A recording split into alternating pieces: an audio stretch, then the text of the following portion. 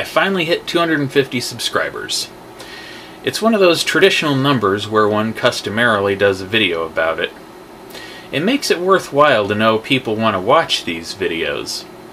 It's also nice to know that 250 people subscribed completely unsolicited by me. So, a big thank you to each and every one of you. I have more ideas for future videos, so there is more interesting stuff coming up.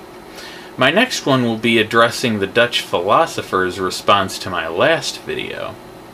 He replied to his own video rather than to mine. I won't see, say anything here though, I'll let you evaluate it on your own. So, as always, let me know what topics you're interested in and what you'd like to see. I make the videos I want to make, but of those ideas I try to focus more on things I perceive as generating the most interest. That can be hard to gauge, though. I'll also answer questions in the comments section if anyone is so inclined.